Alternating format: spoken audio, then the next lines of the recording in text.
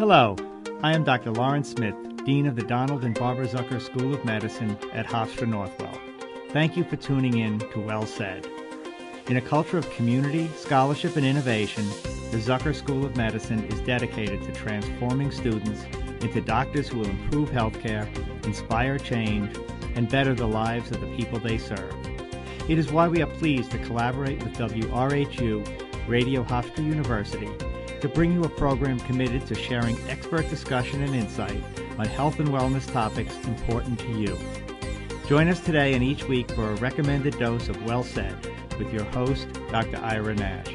Hello, I'm Dr. Ira Nash. Welcome to Well Said. Today we'll be discussing egg freezing, which has gained popularity in the past few years as a way for women to preserve their fertility until they feel ready to start a family. The technique has gotten safer and more affordable for patients, but many still have questions about the procedure and whether it's right for them. To help address these questions, I'm delighted to have on our show Dr. Christine Mullin. Dr. Mullin is the chief of Northwell Health Fertility and an assistant professor at the Donald and Barbara Zucker School of Medicine at Hofstra Northwell. Christine, welcome to Well Said. Thank you for having me today. Before we get started talking about egg freezing and your particular area of expertise, I can't let the fact that we're now two years into a pandemic go past without first asking how you've been managing. Well, thank you for asking. We've actually adapted really well to the COVID pandemic, and it actually has improved the way that we care for our patients. A lot of our patients are, are working women who have to come to our office before or after work and hustling back and forth. And really, the utilization of telehealth has helped make those appointments more uh, attainable um, and has drastically uh, decreased the stress of getting to our office. So let's get into the whole world of egg freezing. Maybe we should start by just defining terms. So, what exactly do you mean when you say egg freezing? Egg freezing is basically capitalizing on the woman's cohort of eggs that they produce each month and allowing women to save those eggs or freezing them for future use. Why don't you walk us through the process? The actual egg freezing process only takes about two weeks, which most people are surprised. The initial consultation is done by a physician in either in our office or via telehealth. And then we typically start the egg freezing process on the woman's second day of her menstrual cycle. They self-administer infertility uh, fertility drugs that for about 10 days. They're done these injections at home, and they're small needles that go under the skin. In that 10-day period, the patients come in about every other day for monitoring in the morning. And then once the eggs are the right size based on their sonogram and blood work, we give them their final trigger shot and about 34 to 35 hours later, they undergo a procedure, which is about a 10 minute procedure in our office under mild sedation. They're not intubated. And we re- extract their eggs through a, a transvaginal ultrasound. And then we freeze them about an hour later and then they're there for them to use if they need it in the future. These drugs that the women self administer at home, these are designed to stimulate more than the normal production of eggs? Absolutely. So the body only gives us about enough hormones to stimulate one mature egg uh, every month. And so what is sort of a misconception is that we lose one egg each month, but we actually lose a whole cohort of eggs. So the medications that we give are the the body's own hormones on higher doses so we can make that whole cohort usable eggs or what we call mature eggs. And how many eggs do you hope to harvest at each turn? We try to aim for about 12 to 15 eggs in each cycle for each woman. It, it can vary from person to person depending on their age or their ovarian reserve testing that we do in the office these drugs that stimulate the maturation of this larger number of eggs, do those have any kind of unpleasant or dangerous side effects for the woman who's undergoing this procedure? The biggest side effect of those medications is something called ovarian hyperstimulation syndrome. It's when your ovaries get enlarged due to the um, injectable hormones. It's usually self-limiting, but people can experience in that 10-day period some abdominal pain, bloating, and some nausea. But most patients do very well, um, and it resolves usually within a week after the retrieval. And you said that the women are closely monitored during this period that they're undergoing this uh, hormone treatment. Is that right? Absolutely. We see them about five to six times in about 10 to 12 day period. So we're monitoring them pretty closely to avoid this. You said that you're looking mostly with ultrasound, is that correct? Yep, everyone gets a transvaginal ultrasound and blood work. So the ultrasound measures the size of the follicles, and based on research and decades of doing this, we know that when the size of the follicle gets to a certain size, the egg inside is mature. And the follicle is something like an outgrowth on the ovary where the eggs mature, is that correct? Yeah, we sort of describe it as like a water filled cavity that holds the egg. Tell me a little bit more about the retrieval process. That didn't sound too straightforward. Um, oh, yeah. so it you know it's it's a same day surgery or procedure. It's done in our office. Uh, there is an anesthesiologist there. They give you medication in an IV medicine that goes through your vein. Um, you're not intubated, so nothing goes down your mouth. It's just like a like a sleep or a twilight.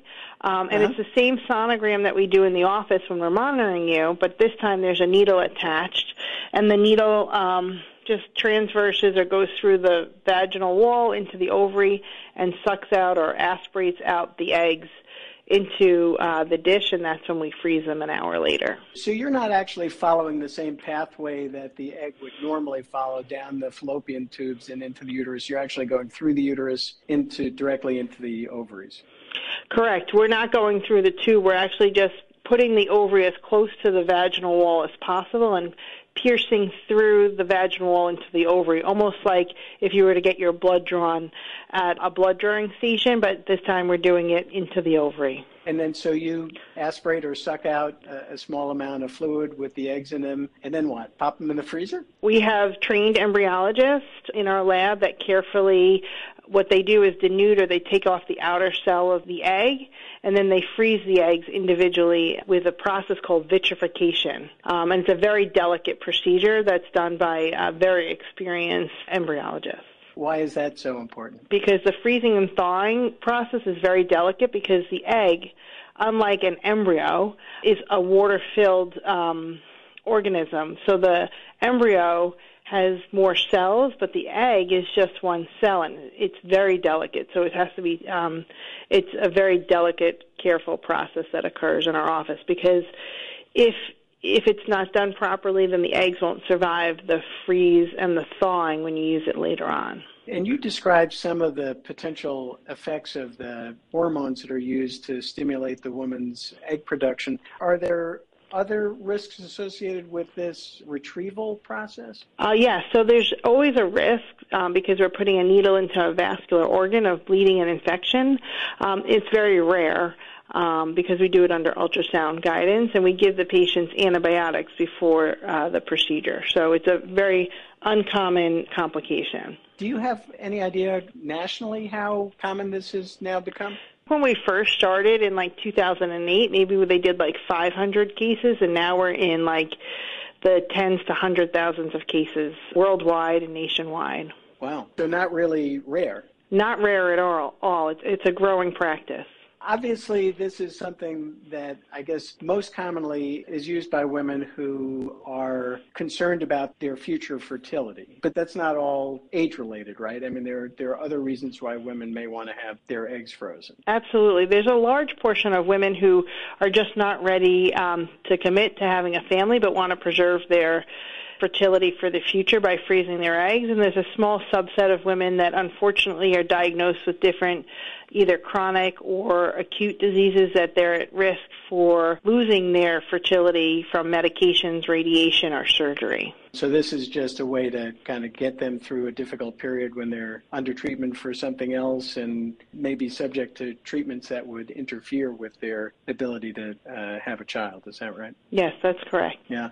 Do you have sort of guidelines that you use for, for women who are not in that you know serious illness category, but are more concerned about their their age or you know they haven't for whatever reason they haven't decided that they're ready to have a family what what do you counsel them beforehand about whether this is a good idea for them? What kinds of questions do you ask? What sort of information do you provide? Typically we talk about if you know basically if children are at the top of their list and they don't have them yet but you know they want to take a little bit more proactive in their future and they're just not sure where their future is going like this gives them empowerment to sort of control their reproductive destiny and do something for themselves I always stress that it's not a guarantee that freezing their eggs will lead to, you know, a live birth, but it's something that they can do for themselves and have more of a reproductive autonomy in the future. You know, we I use this egg freezing tool that most of my patients I have them download from an app called MD Calc where they can sort of see as they go through what the chances of getting pregnant would be from freezing their eggs at their particular age. Do you have a cutoff? If somebody came to you and they were 25, you know, would you say too soon or no. how, how, do you think about it? Yeah i mean we take each case scenario individually but you know there were medical reasons where we did it under 18 and we've done many women in their 20s and 30s asrm actually says that that's the best time to freeze your eggs in your late 20s and early 30s uh, especially if uh, if you don't have an option for um, family building at the time. That age range is based on what? The age is based on natural fertility. Uh, a long time ago, there was a study with the Hutterites that they look at natural fertility and the decline of natural fertility just based on females' age. And so you're saying you get, I hate to put it this way, but better eggs if you do it when a woman is in the age range that you cited? In terms of when's the best time to freeze your eggs, it's really typically in your late 20s or early 30s. We do have women that freeze their eggs at earlier ages due to medical conditions or comorbidities, but that's typically the best age. We do have women who are older in their early 30s. They typically are in their late 30s, early 40s, but we, we're pretty upfront and honest of what their prognosis is in terms of those eggs leading to a live birth. And that's just because the eggs themselves uh, are more likely to be successfully fertilized if they're coming from a woman who's younger than older. Is that what you're saying? That's correct. Walk us through the process. So now somebody's got eggs frozen and decides uh, circumstances have changed and now uh, she wants to start a family. What's the process for taking those frozen eggs and helping a woman get pregnant? That process is I just tell the patients when you're ready to come back, just give us a call, and then we set up a sort of a mock cycle to make sure that they're the lining of the uterus can thicken up with uh, oral medications called estrace. Um, and then it's just a process of making sure the partner or the donor sperm that they're picking um, has motile sperm. And then we set up a time to thaw the eggs out. They undergo a fertilization process in our lab called intracytoplasmic sperm injection, or we call it ICSI. Um, and then we grow the eggs, uh, the embryos out for five days and pick the best looking embryo under the microscope before we transfer it back. The embryo transfer is basically described as like a pap smear like exam um, where we, though, gently place the embryo in a certain spot of the uterus under ultrasound guidance. So you're actually fertilizing these eggs outside the woman's body, waiting for them to grow a little bit so that you can check their viability and, and other things, and, and then implanting them back into the woman.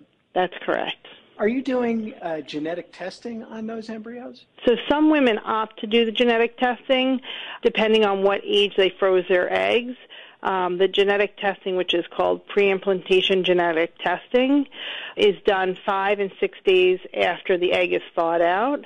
And then a bunch of cells, like five to ten cells, are sent to an outside lab to test to make sure that the embryo is genetically normal. So we look at all the chromosomes to make sure they have two pairs of chromosomes, one from their mom, one from their dad, for all 22 autosome chromosomes and the sex chromosomes.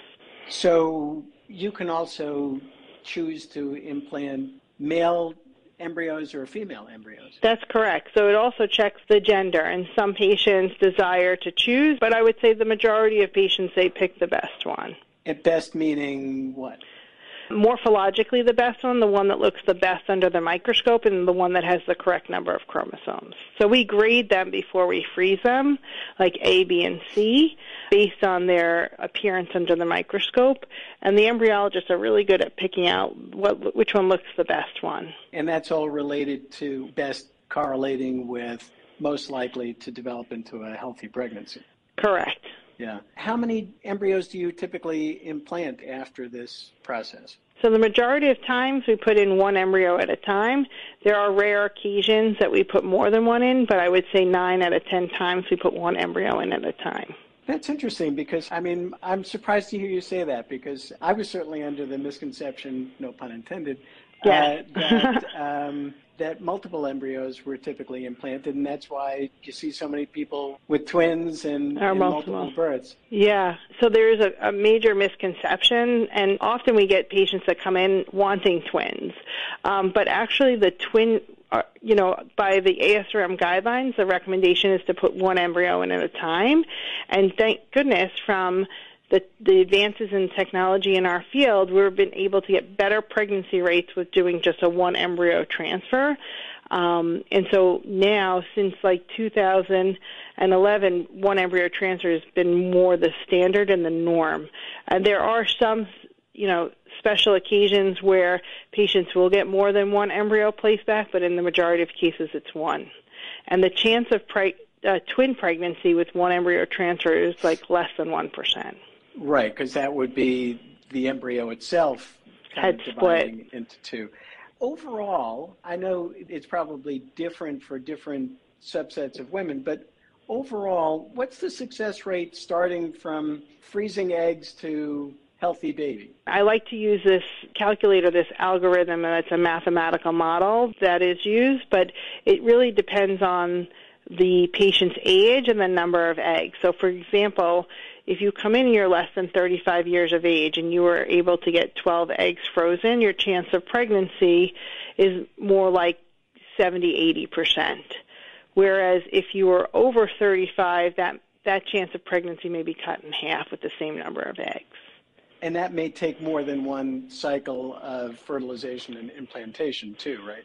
Right, and most women will do more than one cycle. Um, they use the calculator to sort of determine what chance of pregnancy they want before moving on.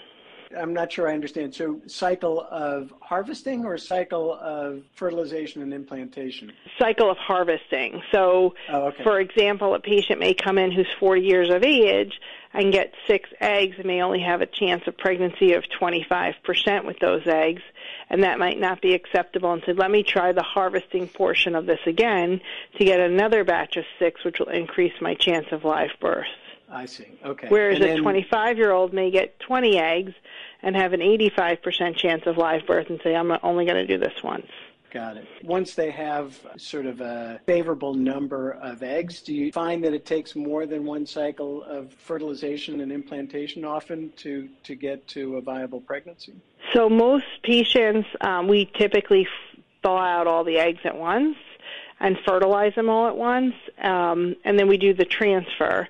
And most people will be pregnant in the first uh, two transfers.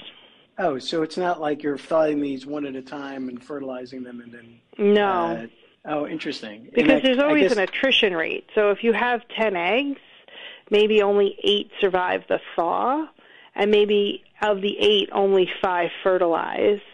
And then when you grow those five out for five days in the lab, potentially only two or three will make it to day five. So we typically sort of go on the notion of if you have 10 eggs, 10 eggs usually equals about two embryos because of the attrition or the sort of like survival of the fittest in the lab. And I guess that gets back to what you were saying before. Then, if you add in testing on those embryos and picking the Correct. best one, right? Then, then you're you're down to even uh, lower numbers.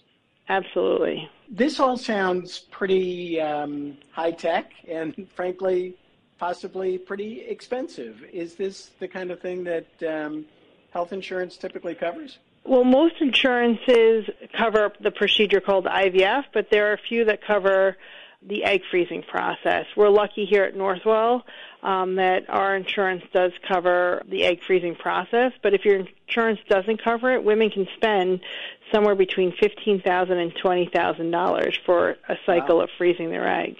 Well, and I imagine that the longer you keep them frozen, the more expensive it gets. Is that true?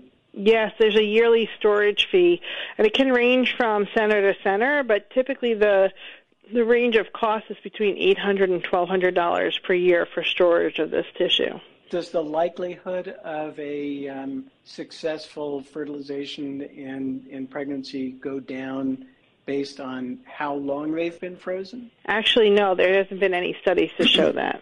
So, so once they're frozen, they're literally like in suspended animation, and and you don't lose anything over time. Exactly. Okay. Well, I, I guess that's the whole point of doing this. hmm Do you find that women are more open to the idea of this than, than they once were? Like, where, where do you see this in kind of the thinking of, of women about their own fertility and, and family planning? I think it's become more of a narrative and a you know a journey. Um, I think people are more open to talking about it on social media and in the public. That uh, people are more accepting. Uh, before fertility was more of a stigma that no one talked about and you sort of suffered in silence. But I think more people are open to um, talking about it.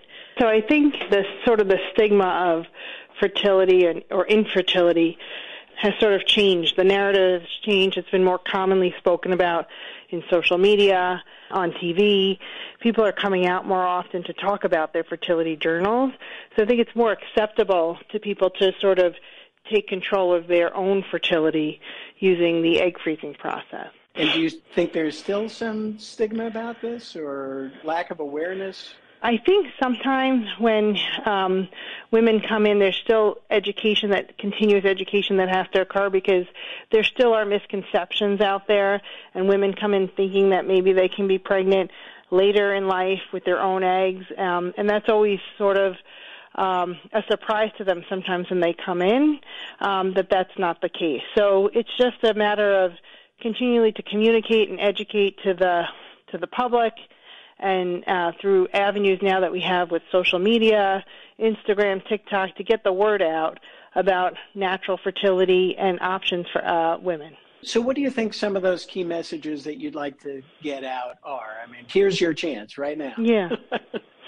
so I guess my advice would be like if you're in your late 20s or early 30s and if you're thinking of children or building a family and that's one of your priorities in life and you just don't have the options yet at your hands, I would tell them that you really need to make this a priority for yourself and that egg freezing is an option for you to take more control of your reproductive destiny, um, to do something for yourself. And while it's it's not a guarantee that it'll lead to live birth, it's definitely something that will give you the opportunity at a chance for reproductive autonomy.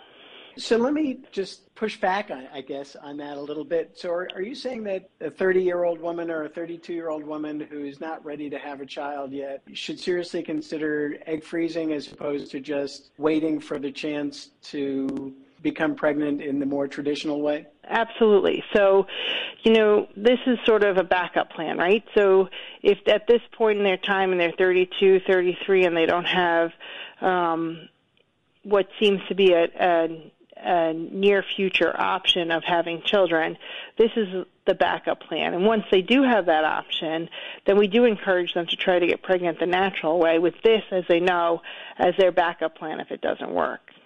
So we have a lot of women who come in at 40 years old who may have frozen their eggs at 32, 33, and they try on their own uh, initially, and if it doesn't work, they go back to the eggs that they froze years before.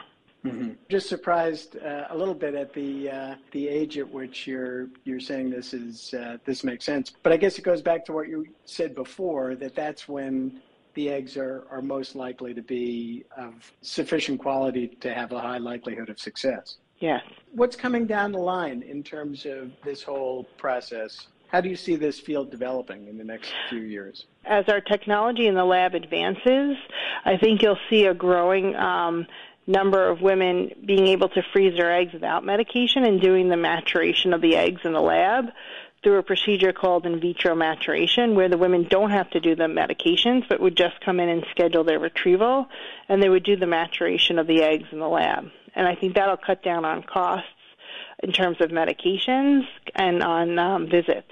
If there uh, are any young women who are listening to us right now and are thinking about this and want to get more information about it, where would you direct them to get some high quality information? Sure. So they can always reach us at um, Northwell Fertility and call our office for a consultation. We can do it either via telehealth or in office at our 516 562 baby number or other good patient information on site or online.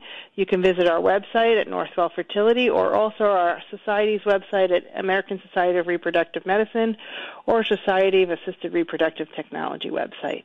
Great. Any uh, final thoughts or messages for our listeners? No, I look forward to seeing everybody to help you with your future fertility. Well, thanks very much. It's been my pleasure to have Dr. Christine Mullin uh, join me today to talk about egg freezing and, and some uh, the latest technology in assisted reproduction. Thank you for having me, Ira. For more information about this program and to find past episodes, please visit medicine.hofstra.edu slash well said. You can also subscribe to our free podcast wherever you get your podcasts. Our listeners are also welcome to send comments, suggestions, and questions to wellsaid at hofstra.edu. Until next time, I'm Dr. Ira Nash, and that's Well Said.